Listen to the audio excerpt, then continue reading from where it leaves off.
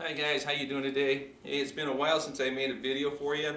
This is one I picked up just the other day from the Kali Center. That guy over there at the Kali Center does great, great videos. So if you have a chance, check him out. Also Matt Pasquinelli, he does a lot of great stuff with walking sticks. Check him out as well. They do great videos and they're constantly making updated videos for you guys. But here's one that uh, I picked up the other day and this one here is really good. Again, this is for a defensive walking stick. Okay, so here we go. Take it in your right hand, goes to your left. From here, comes to the head, one. Other side, two. Now my right hand is going to flip over to hit to the top of the head, to strike to the top of the head. That's three. And then from my left hand, I'm going to rake across the eye or the bridge of the nose. Four. From here, my right hand comes over the top again. Five. From here, I'm going to strike to the belly with a poke. Six.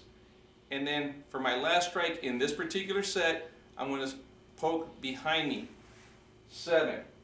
Now there are several more strikes that go along with this, but so as not to turn my back to you guys, I'm going to go with just the first seven strikes. So here we go again.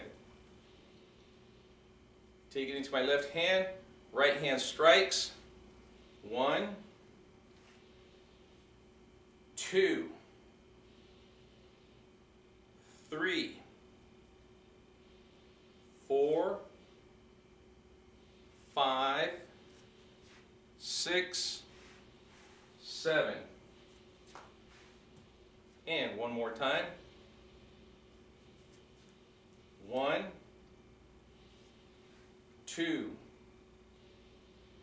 three, four, five, six, seven. All right, guys, keep practicing. Hopefully, uh, you guys will enjoy this particular one.